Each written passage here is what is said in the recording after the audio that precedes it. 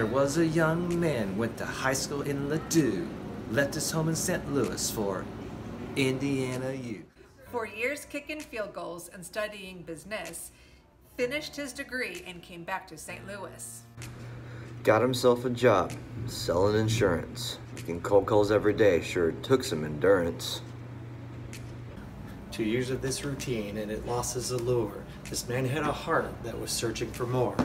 Want to make a difference and impact young minds where he enrolled himself in school where he soon finds. Teaching math.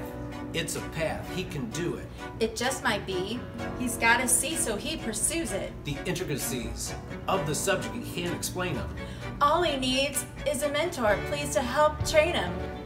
Did a student teaching in the fall of 84 with resume palace, she began knocking on doors. Of various districts, he cast his net wide. Undeterred by the nose, he took rejection in stride. Got himself an interview in South St. Louis County in a district at a high school that had a large bound. Of doors all over its California campus with veteran teachers and halls that seemed endless.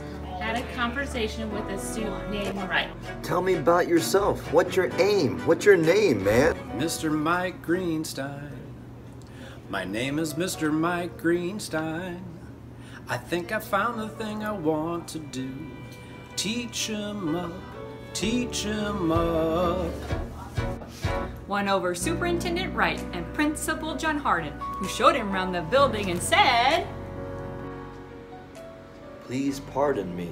No need for us to play a waiting game. Staff needs to know your name. What's his name? Mr. Mike Greenstein. Mr. Mike Greenstein. We've got a job to offer to you. Please come join our faculty. You can even coach football too. Mr. Mike Greenstein. Mr. Mike Greenstein. Lindbergh has what you're looking for. Be different. Who knows what you'll have in store?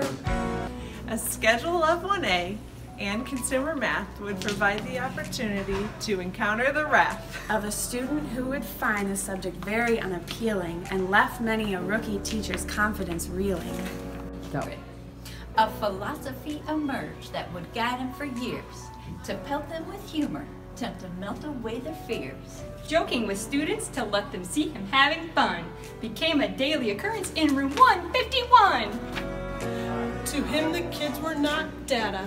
He chose to look beyond the stats, to things that couldn't be measured, things that the bureaucrats don't see or think of when they're out there blovating. Greenstein made his work a work of heart, no negotiating. Mr. Mike Greenstein. Mr. Mike Greenstein. We've got a job to offer to you. Please come join our faculty. You can even coach football too. Mr. Mike Greenstein. Mr. Mike Greenstein. Has what you're looking for. Each day here will be different. Who knows what you'll have in store? How has he done it? Maintained his drive for 34 years to bring spirit and enjoyment to share with his peers.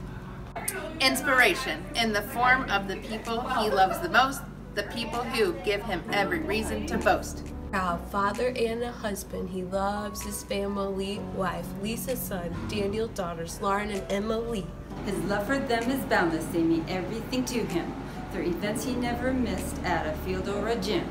Not a fashion statement, he has his routines, tan, khaki, short sleeve shirt, never tie or blue jeans. His clothing may be plain, but he's not a plain man. This year we've tried to soak up all that we can. Of his wit, I must admit, there's no imitating. We can try, but no light's intimidating. He has the knack, he's no quack. This man's legit. His vacancy, how can it be this won't sit? Well, well, what can we do? We can follow his example and try to live up to. Enjoying students and colleagues who make the job fun, as he did for years in room 151. Like the number pi, which we all know doesn't end, there is no way to measure the impact of our friend. But we'll remember and celebrate this man with much acclaim. And now you know his name. What's his name? Mr. Mike Greenstein. Mr. Mike Greenstein. Got involved here at our school emceeing at the rallies and making Baptist cool. Mr. Mike Greenstein, Mr. Mike Greenstein, coach of football and volleyball, leading library balcony sing-alongs in the middle of study hall. One.